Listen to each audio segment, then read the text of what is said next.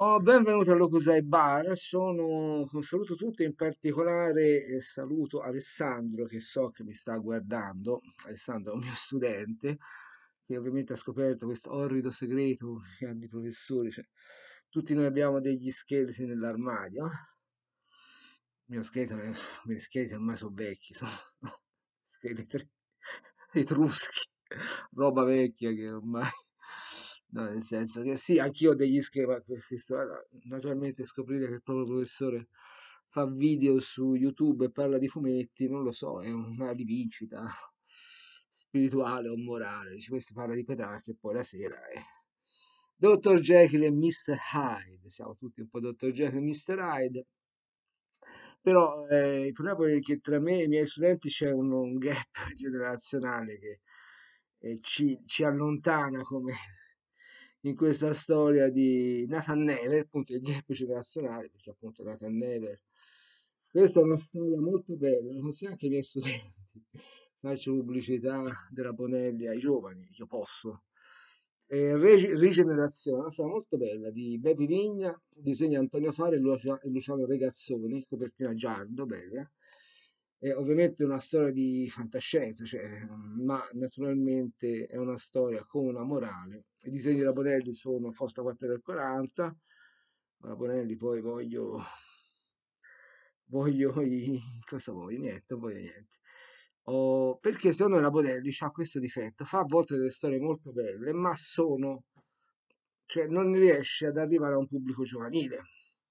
Ora io per motivi di lavoro ci lavoro col pubblico giovanile, è ovvio che so, ci lavoro perché quindi non riesce, secondo me ha questo gap, non riesce a parlare ai giovani, cioè parla bene ai vecchi, ai 50, cioè hanno questi vecchiacci, ai quali mi ci metto anch'io, che rompono le scatole col badone da cosi, con tutta roba degli anni 70. Professor Venturini. Una scatola misteriosa. Ovviamente ho la strana impressione ci siano dei fantasmi in casa, ma questo è io credo. Ho, mm, dicevo, Gap Generation, quindi non, storie belle come queste, in teoria potrebbero piacere anche a dei ragazzi. La Bonelli non le pubblicizza, non, non, cioè, non lo so. C'ha questa cosa che non riesce a comunicare con i giovani. Secondo me è un peccato, perché questa è una storia che disegnata bene, una storia avvincente. Secondo me una storia che, che merita, cioè questo ragazzo di 12-13 anni non ha neanche problemi insomma a leggerla. Naturalmente deve sapere che è andato, anche se non sa che è andata a Nero, qui insomma non è importante perché questa è una storia diciamo a sé stante in cui Nathan Neve, il protagonista, è stato...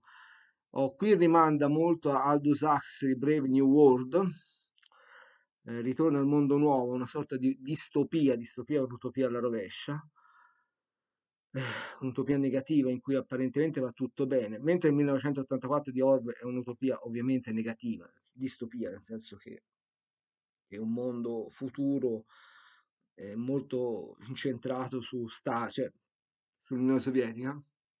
Brave New World è un mondo stile americano dove apparentemente siamo tutti liberi, ma poi ciccia e riciccia non c'è nulla di libero. Anche qui in questo, cioè Nathan Never viene eh, sfuggendo a vabbè, Mr. Alpha, tutta una storia prima, quella non, che lo insegue, si fa ibernare o qualcosa di simile, viene spedito boh, 4-5 mila anni, 500 anni dopo, qualcosa di simile. Insomma.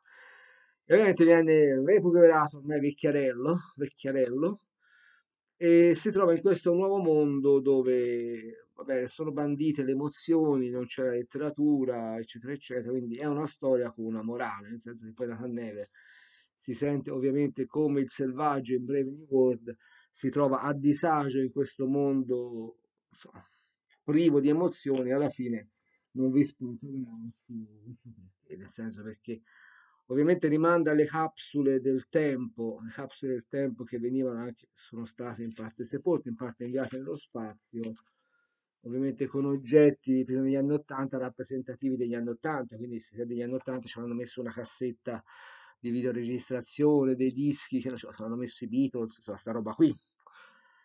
E, ehm, le capsule del tempo, sì, le capsule del tempo che hanno anche spedite nello spazio, quindi è un po' Bepi Vigna rimanda tutto questo e ovviamente ci, ci delizia con una storia veramente carina.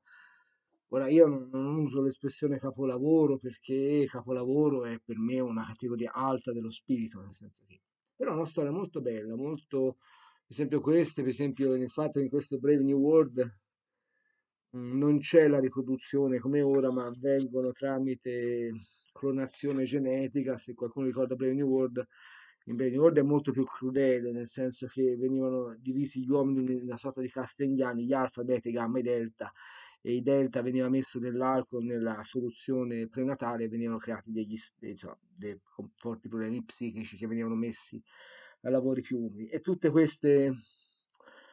E ovviamente, come in Breve New World, non c'è la vecchiaia.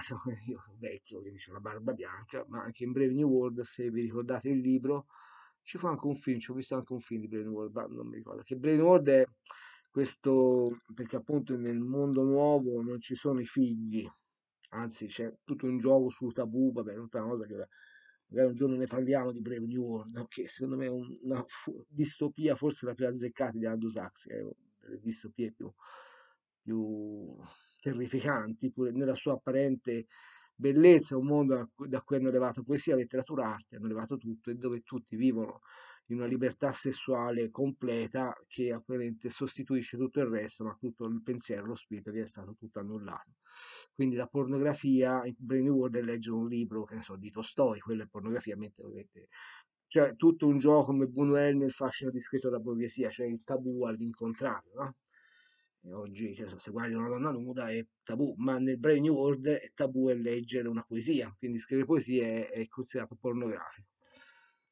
E dicevo, in questo, anche questo qui, secondo me, Bivigna si è ispirato, anche qui non c'è la vecchiaia, nel senso che arrivati alla fine del ciclo, insomma, si, si muore giovane, si rimane come la canzone di Alpha Wilfer, Forever Young.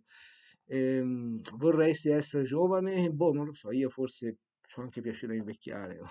Quindi anche la Canneve verrà sottoposta a questo procediment di ringiovanimento, ringiovanimento e belli disegni, disegni sono veramente stupendi quindi, e ovviamente scopriremo questo è Nathan Never molto stile boh, stile stile Bronx stile boh, Fratelli del Bronx e non vi dico di più perché sennò vi rovino la lettura però è una storia che merita di essere letta eh, la straconsiglio caldamente ho, ultimamente ho visto visto un video anche di Duki Lucky Luke su se ha senso fare recensioni o meno. Ma io le faccio, nel senso, non, io non so recensioni, nel senso che so chiacchierate, uno legge un fumetto e come se, se questo canale si chiama Cos'hai Bar, se siamo in un bar, dico ho letto sto fumetto, mi è piaciuto, basta, cioè voglio dire, non è che non, non sono pagato della Bonelli, non, non, ci pensano nemmeno la Bonelli a pagarmi, credo che sia mai passato per l'anticapa del cervello, e fanno bene giustamente, però voglio dire, so chiacchiere da bar, quindi è ovvio che a che senso ha, non è che questa è la mia recensione di Nathan Never salva il mondo e fa fermare la guerra in Ucraina, ma è ovvio che eh, qualsiasi cosa che tratti dello spirito dell'arte, anche del fumetto che è arte e letteratura, secondo me ha un senso farlo, nel senso, quindi poi ovviamente c'è chi non le vuole fare, ma nel senso io credo che ognuno nel suo canale faccia un po' quello che, che, che gli pare, nel senso ieri ho parlato di scuola, non c'entra niente con fumetti, però voglio dire, il mio è il canale mio, quindi ci fa quello che mi pare a me, ognuno nel suo canale fa quello che gli pare a lui e così va bene il mondo, nel senso che poi sia una cosa superata o meno, non lo so. È come dire a scuola le spiegazioni sono superate, sì, sono superate, in parte sì, nel senso in parte... Però, però, però, però c'è sempre un però, quindi, però, nel senso se uno ti spiega Dante, Boccaccio e Petrarca e te lo spiega eh, come io mi... Eh, in, cioè io credo alcuni argomenti averli studiati, poi naturalmente non so se li so esporre come vorrei esporli, però voglio dire, se uno ti apre qualche punto di vista nuovo su un, un poeta, un autore, credo che sia importante. Lo stesso vale per un fumetto, poi uno può farlo o non farlo, questo ognuno fa come cavolo gli pare, nel senso. Però questa è una storia, tornando a bomba, disegnata bene, anche l'impaginazione non è scontata, cioè, a volte la Bonelli, vedete Nathan Never c'ha un'impaginazione un pochino meno 6, 2, 4, 6, nel senso un po' meno, eh, un po' meno poi anche Nathan Never c'ha le 2, 4, 6 a volte, No, ma sì, comunque sì, però sapete, c'ha l'impaginazione, però un po' meno dell'impaginazione 245, questa è l'impaginazione classica, però voglio dire, c'ha anche molte più vignette orizzontali, cioè il quadratino, no, di sotto la vignetta, la pagina è divisa, in, cioè, divisa con righello in, in, in sei scompartimenti oppure in cinque, mentre qui vedete che comunque c'ha delle aperture eh, verso un fumetto un pochino più arioso, un po' più di... Quindi è l'incontro di un vecchio del, vabbè, del, del- del passato che viene sbernato, is- disbernato e messo nel futuro. Oh, molto belli i disegni, molto bella la storia, per 4,40 copertina di giallo spettacolare, questo va preso, cioè preso, non so se va preso, però nel senso se io cioè, a volte, come dire, alcuni fumetti, vedete, sul Barone della Cosi sono rimasto piuttosto, boh, in forze. Quindi poi ognuno, quando legge un fumetto, uno ci vede, cioè, uno ci vede No, la parola capolavoro lo, lo risparmierei per pazienza, per quelle cose un pochino più, più alte, però è una bella storia. insomma. Questa, il prossimo mese torna La rabbia di metallo e poi credo poi ritornerà Scotos.